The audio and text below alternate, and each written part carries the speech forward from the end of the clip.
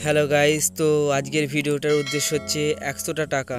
একশোটা টাকা নিয়ে আজ আমরা রওনা দেবো বহরমপুরের উদ্দেশ্যে। তো দেখা যাক কতটা সময়ের মধ্যে, একশো টাকার মধ্যে কতটা যেতে পারি। তো ভিডিও স্টার্ট হয়ে গেছে। এখন আমরা চলে এসেছি মায়া তো এখন আমরা আছি মায়াপুর নৌকার ঘাটে। তো নৌকা পার হয়ে আমরা এখন সরাসরি চলে যাব নবদ্বীপের ওই পার। তো দেখি আমরা নৌকাতে উঠি, চেষ্টা করি নৌকায় আজকে প্রচণ্ড ভিড় ও স্রোতও চলেছে নৌকায়। যেতে নৌকার টিকিট মূল্য পাঁচটা টাকা। তো মায়াপুর থেকে নবদ্বীপ যেতে হলে টিকিটের মূল্য নেবে পাঁচটা টাকা। তো আমরা এখন নৌকায় উঠে পড়েছি।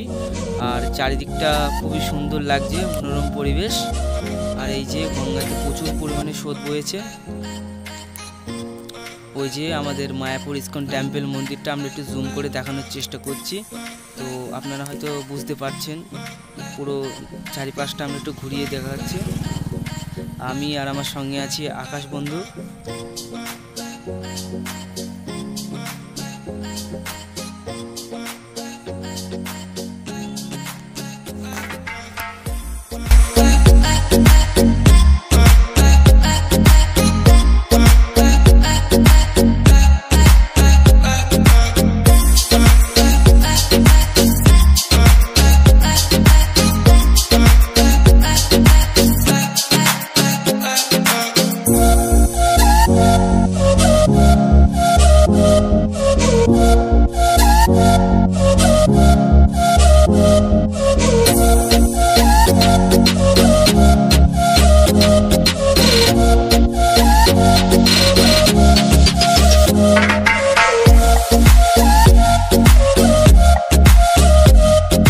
সোনামদের ঘাট থেকে আমরা টোটো করলাম, টোটো কিনলো কুড়ি টাকা করে দুদিনা টোটো কুড়ি টাকা করে নিয়েছে তো চল্লিশ টাকা এখানে আমাদের চলে গেল, তো বাকি থাকল পঞ্চাশ টাকা।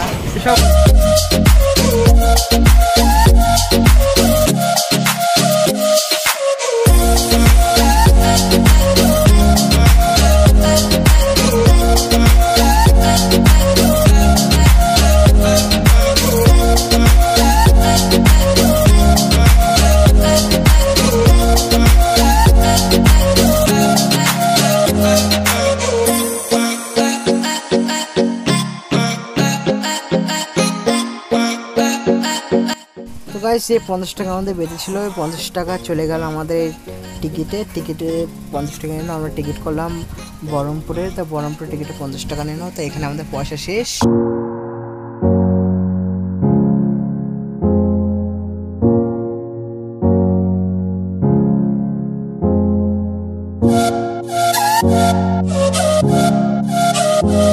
এসে আমরা বহরমপুর স্টেশনে, এখানে আমার মামারা নিতে এসেছে, তা বাকি পয়সা নাগলো না, তা বাকি ব্লগ গাইস সরি আমাদের ট্রেনের আগের ব্লগটা করা হলো না, কেন কি আমার ফোনটা চার্জ ছিল না, তা একদম সুইচ হয়ে গেছিল, তা আগের ব্লগটা করা হয়নি, তা এদিকেও আমরা চলে এসেছি, তা বহরমপুর থেকে আমরা কোনো বাস ট্রেনে উঠেছি ওখানে আমার মামা নিতে এসেছিল, ওখান থেকে আমরা চলে এসেছি বাইকে করে, তা দেখতে পাচ্ছি ওখানে আমরা চলে এসেছি, তা তোমাদেরকে আমাদের কটা ভালো শর্টস স্লো মোশনে দেখাবো।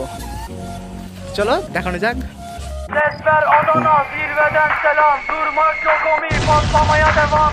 Yok bundan sonra size sigara filan. Uçuyor yıldızlara müptezel bayan. Harmanım baba nerede çarşafım? Gördüğüm bu paketler benim dermanım. Hoppa yavaşça açıldı fermanım. Sakın kaçma buraya gel la kezbanım. Adana çocuğu aga şehrimin delisi. Olay büyük kardeş mevzu kendisi. Plaka 01 korkumuz dinle. Yazmak için yine yuttun be ব্লগটা যদি ভালো লেগে থাকে please চ্যানেলটা subscribe করবা and like করবা। তো চলো, আজকে ব্লগটা এখানেই শেষ করলাম।